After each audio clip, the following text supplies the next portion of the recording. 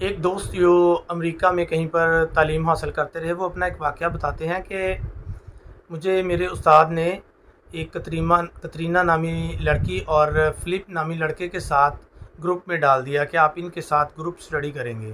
تو کہتے میں فلپ کو نہیں جانتا تھا، میں نے کترینہ سے پوچھا، تو اس نے کہا، وہی سنہرے بالوں والا لڑکا، مجھے اس کی یاد نہ آئی، تو اس نے کہا، وہی جو وہ بہت اچھے گلاسز بھی استعمال کرتا ہے۔ کہتے مجھے مزید سمجھ نہ آئی، اس نے اس کی اور بھی بہت ساری چیزیں بتائی جو ہمیشہ اچھے سے بندے ہوئے جینز پہنتا ہے۔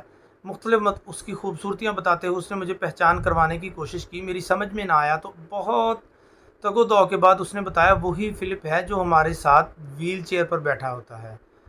بات کرنے کا مقصد یہ ہے کہ اس لڑکی نے اس کی پہچان، اس کی خوبیوں سے کروانے کی کوشش کی۔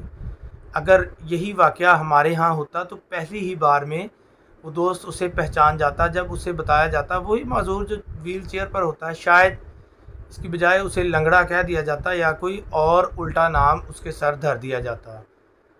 خدا را اپنے معاشرے میں خوبیوں کو جگہ دیں، غلطیوں کو روکیں، اپنے معاشرے میں اچھائیوں کی جگہ بنائیں، برائیوں کو ختم کریں تاکہ ہمارے بچوں کی تربیت اچھی سے اچھی ہو سکے۔